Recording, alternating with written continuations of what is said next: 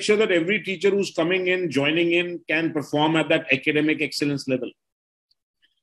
So, of course, you see, uh, there are mentors, you know, who basically, so of course, there's this just just the term, the nomenclature, you know, which is different.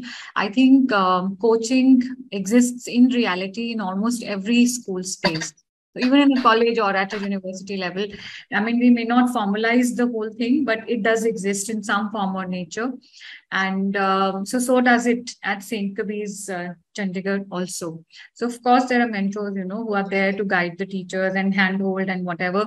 So, but I, I mean, I'm, I mean, there's a quick thought when, you know, the first speaker, Arati ma'am, you know, probably was talking and wherein she mentioned about uh, hierarchy and, you know, those issues when we were discussing. So, I feel that, you know, if we have a, like, instead of a coach or a mentor, if there's a name like a buddy, you know, where you feel that, you know, we are equals and you know no one's better than the other. And again sir today schools even in our own country there are schools which are looking at self-directed learning for students giving them a choice what to learn. Why can't we give it to our teachers to begin with? You know that will set the culture as well and make it easy for us to take it down to the level of students.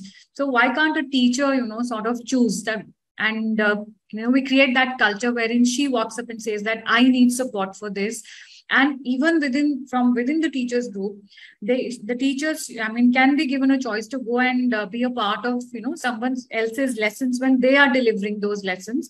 And they select that you know i want her to be my buddy for this particular uh, topic that i feel uh, i need support for.